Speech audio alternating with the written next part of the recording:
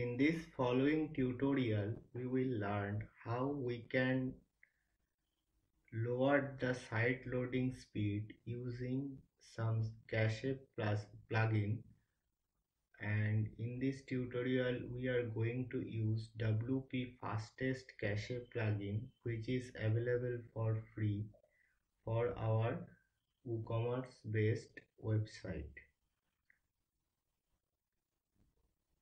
Before enabling or installing this cache plugin, I would like to show you about our current site speed using a website called GTmetrix. Just type GTmetrix in Google and you can easily find this website. Here we will put our URL of the home page and we'll run the test.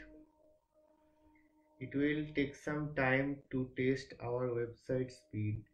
In the meantime, we will use another tool called Pingdom Tools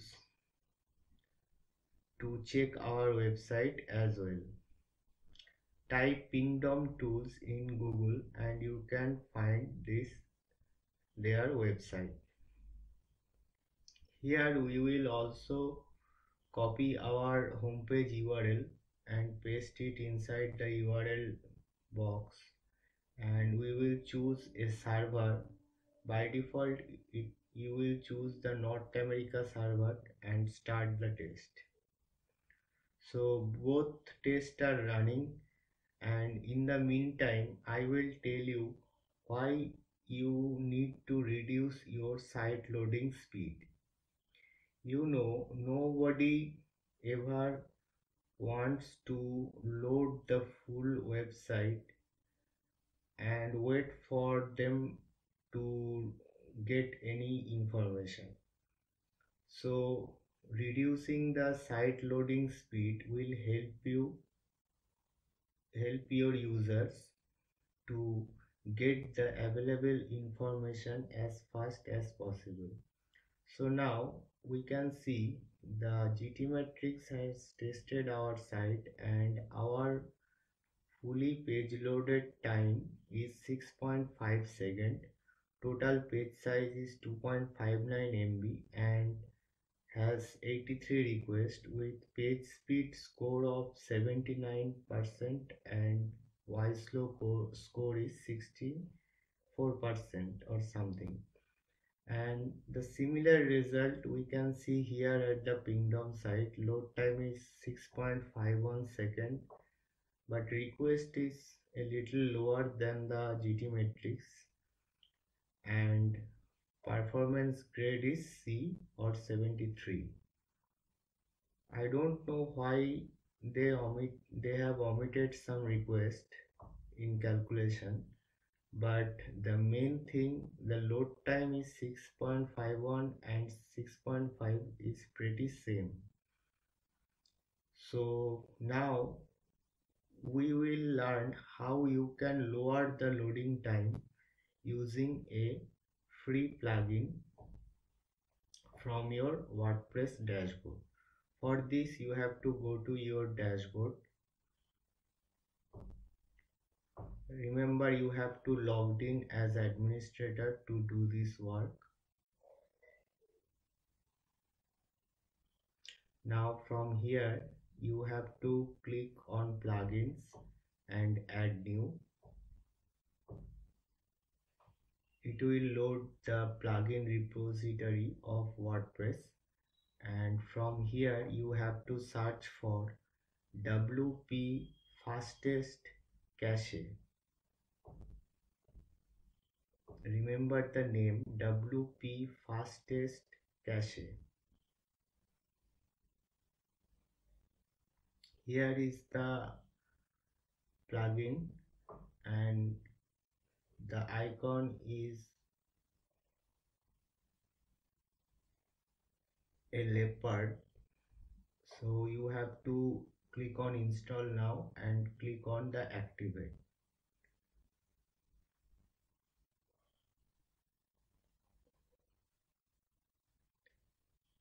As soon as you activate the plugin, you will find a new icon on the top navigation menu, administrator menu like this, clear cache. From here you can manually clear cache anytime by just clicking on this link. And from the left menu you can find WP fastest cache here.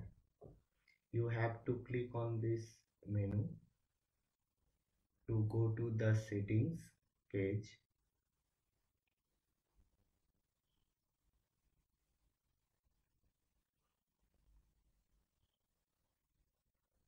From here you will enable all the options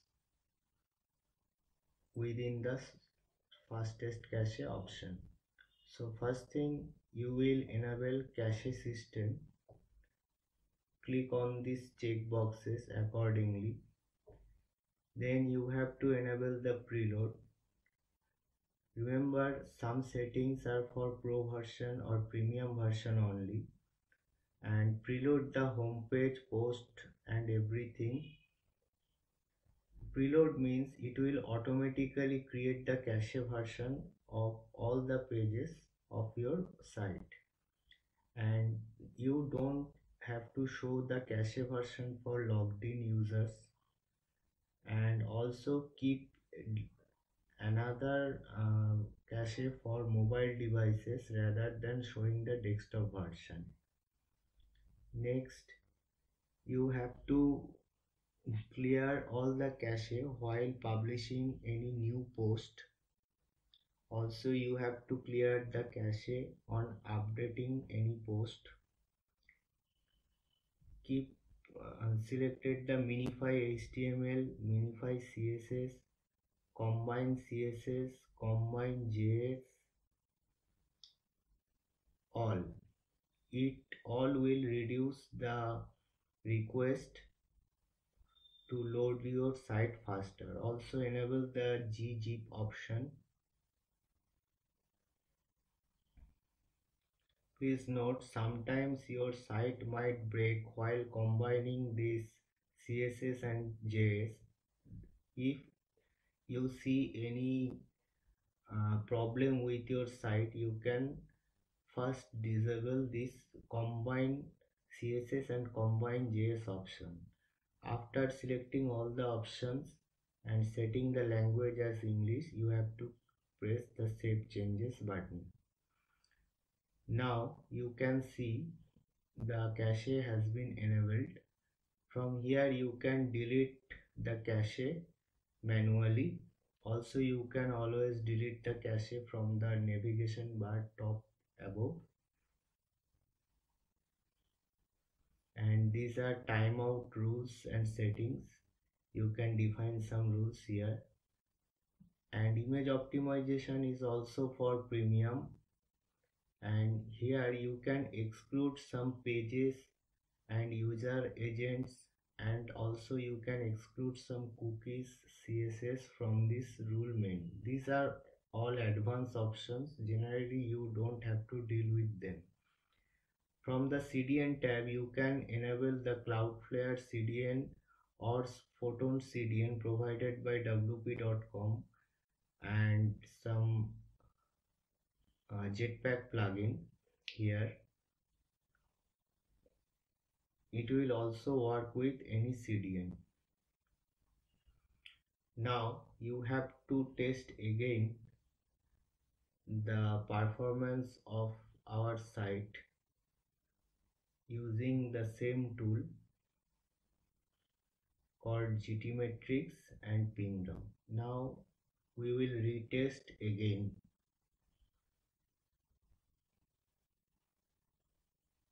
Similarly, we will retest again using the Pingdom tools. For this, you have to create a new tab and have to put your URL again and remember to start the test from the same server like North America, San Francisco as the previous because we will compare both the result before and after enabling the cache. The test is running. In GTmetrix, it will take some time because the site is very popular among the developers to test the site speed so it will take some time. In the meantime we will check the result from pingdom. In pingdom we can see now our performance grade has been improved and load time has been decreased. Also requests are decreased but page size is the same. If you compare with the previous result you can see we have nearly uh, increased 2 second sorry decreased 2 second of load, load time and we have uh, nearly improved our performance 10 points and now we can say the cache is working properly. So let's look at the pingdom uh, sorry GTmetrix test again. It's currently facing the site in the meantime you can browse your website in incognito window to check manually if everything is loading correctly or not. See, we can visually see the load time has been really decreased and the site is loading faster than ever. Okay, as we can see everything is alright we can check a product page also and all the elements are loading really fast. So we don't need to worry about anything. Let's take a look on another product also. If you are first time watching this tutorial you might not know that we are building a dropshipping website based on WooCommerce in this full tutorial series and you can browse the other videos from the playlist to learn how can you build a dropshipping WooCommerce store with zero investment yourself. Okay now here are the results. We can see the timings of the test and here you can see we have achieved a greater page speed score from the previous one. Page speed score is defined by google and yslow score is defined by yahoo. So we can say our site is very preferred in Google. But from here we can see the server page load time is a little lower. Previous it was 6.5 and now 5.5 and most of the time it it took to load the images. From here you can see the optimized version of our images provided by GTmetrix on real-time basis. You can download and upload them again into your website to decrease the um, uh, loading time.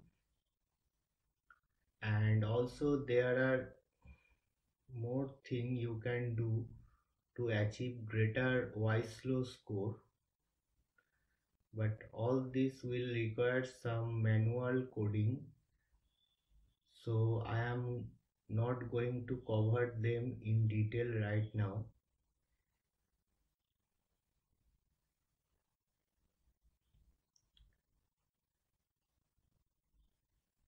you can set a CDN or to improve your site loading uh, speed as well using Cloudflare free CDN or any other paid CDN and also you can add expiry headers and uncheck the e tags